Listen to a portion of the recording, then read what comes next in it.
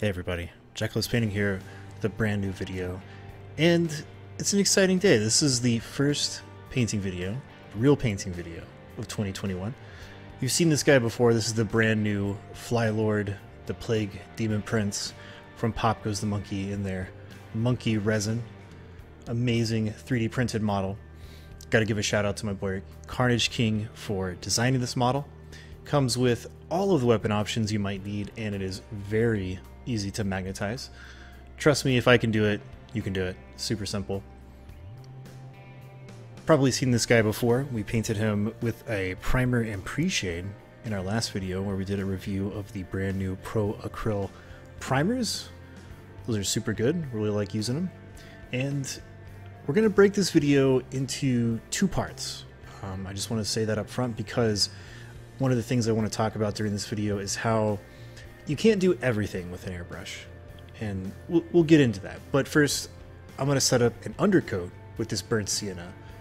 I have come up with this really nice little uh, recipe. I know I've said in the past I'm not a recipe painter, but what I mean by that is a way of painting my Death Guard collection in a way that is easy to replicate. I don't always do exactly the same thing. I don't have a specific number of uh, drops of paint that I mix with another specific number of drops of paint to replicate that every time. A lot of it is kind of flying by the seat of my pants, but I'm using a lot of the same colors so that as a collection it all looks cohesive. And one of the things I like to do with these guys to create that kind of Nurgle rusty weathering right out the gate is I do this rusty orange undercoat and kind of like using uh, a darker primer as a shadow we're using this rusty undercoat as, um, well, rusty undercoat. Uh, it's just setting up our weathering. So that way on the bottom of everything, kind of in the deep recesses, we have that nurgly rust built up already started for when we want to do things like paint chipping and adding more rust and doing all sorts of other things. So now that that undercoat is done, I'm going to get into starting with our Death Guard green armor.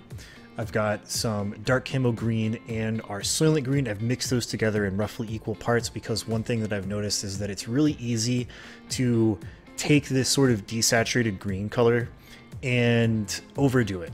You don't want to really, you don't want to suck all the color out of this green. We want to make sure there is some vibrant color in there somewhere. So when I worked on our custom Mortarion, what I ended up having to do was go back and glaze this Soylent Green into some of those shadows to give it some saturation. Whereas this time around, I'm just adding that up front. And then after that, we're gonna do a highlight. We're gonna start doing our highlight with just regular camo green.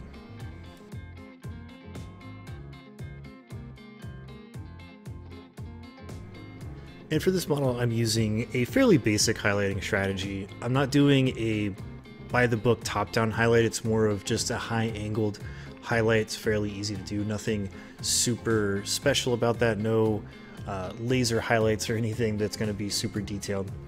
Uh, after that, I'm going to take some of our bright warm gray and I'm going to mix that into our camo green to get this in between color. And we're going to do even smaller highlights to start popping that green out and getting that desaturated look. And like I said earlier, I did want to talk a little bit about how I'm breaking this video into two pieces. The first one is going to be most of the airbrushing, all, all airbrushing, because that's how we start all of our projects. But unless you're painting something really big, right, like a, I don't know, like a 1 8 scale statue or something, um, it's really hard to do every single little thing with an airbrush. You can't ever just go start to finish with only using the airbrush. It's really hard to do that. Uh, and you're not going to have a fully finished looking model, right? Um, so I'm just showing how in almost every project we're using the airbrush to do two things. One is to give our models a little bit of wow factor, right? Some some airbrush gradients and pop highlights so that when people see them, they say, oh wow, that's really cool, right? Wow factor. The other thing is expediency. It's time efficiency. We're doing this to speed up the painting process in a way because you know it, doing everything by only using a paintbrush it just takes a really long time and especially in our hobby when you're working on more than just one model your time is a very valuable resource you want to spend it wisely And here we're gonna start doing our kind of how do I how do I describe the fly fleshy bits? I'm, I'm not really sure. Maybe like the the mutated parts, the carapace, something like that. And just blocking that in with some black brown, right? Super easy. This is a technique that I use on a ton of models, especially if I want to have uniform airbrush highlights on multiple parts of the models that I can't put into a subassembly. So I'm going to block those in by hand and then very carefully airbrush highlights on top of it. You can see that I'm just using a gray because I want to have like a grayish brown fly body type look for this guy. And I'm using my thumb for kind of a mask so that I can keep that paint from spraying down onto parts of the armor. So that way I can get like his face and those little mandibles without getting any overspray. And then I want to take that brown and I want to brighten it up a little bit. I want to warm it up a little bit. So I'm mixing in some light umber and then just a couple of drops of that same warm gray to get a nice in between grayish brown that's going to be a good highlight color. And uh, I didn't film this part because there's multiple sub-assemblies, but I'm doing this for the whole model. That's, that's how I generally do these steps, but you don't have to see me do the head and the feet and the arms and the talons and all that, right? Um, so anything that I'm doing that fly body type stuff too, I'm doing it during these steps, but I'm only filming the main body. And then the last thing I'm doing is taking that bright warm gray again, and anywhere where he's got like spikes or claws or talons or like this horn on his head right here, I'm gonna get just the end tip of that and give it a little pop. So we have that kind of cool transition from uh, what you might consider like a softer flesh into a harder, bonier carapace type flesh for the claws and talons.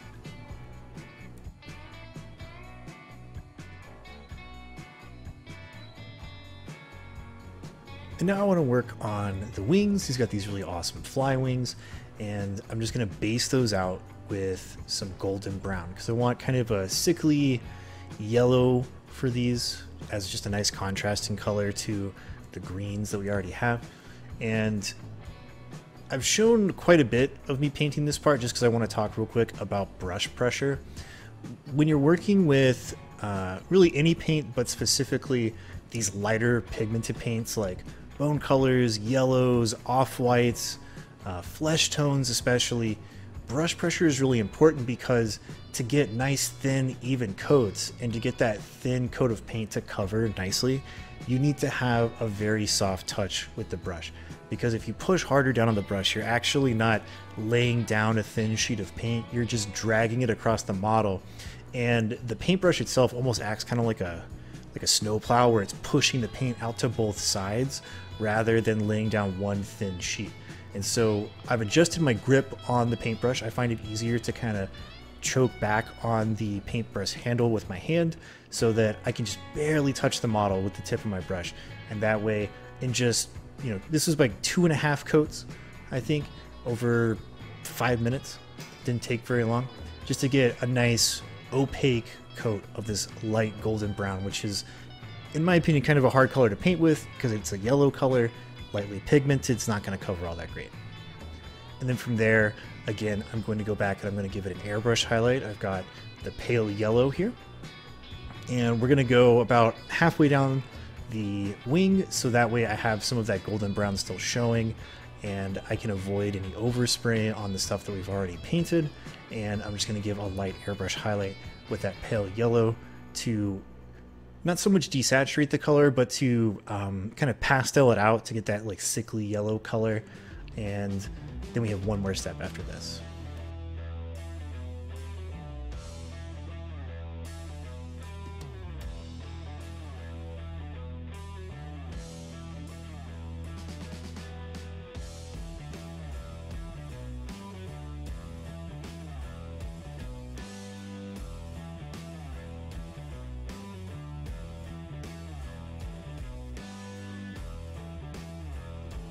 Once that paint is really good and dry, I'm going to come back with some transparent red.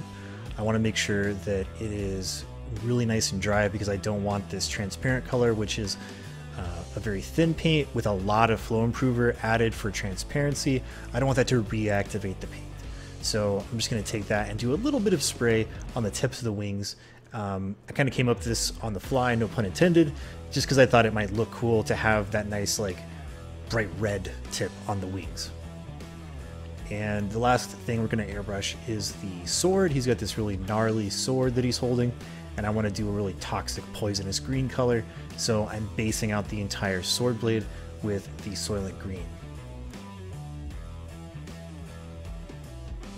After that's dry, I'm going to grab some bright yellow green, you know, your your scorpion green. There's a bunch of different names for it. Same same color basically. A nice bright toxic yellow green, and I'm going to lightly airbrush around the perimeter of that blade and the point especially, and start building up that contrast between our more primary color green and this nice bright yellow green to create kind of that magical toxic sword effect, whatever you want to call it.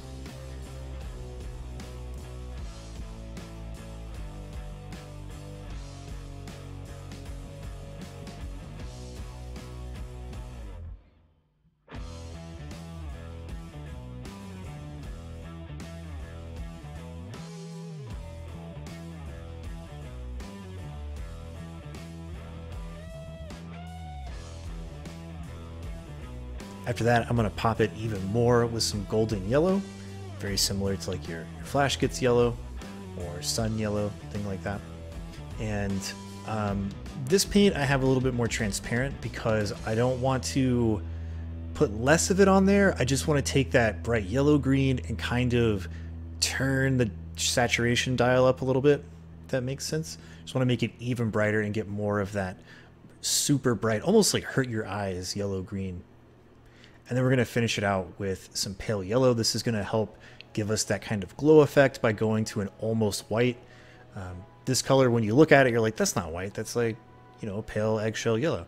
But when you apply it onto the model with our primary green and our yellow green and then the yellow and then this color, it looks almost white and it gives us a nice glow effect.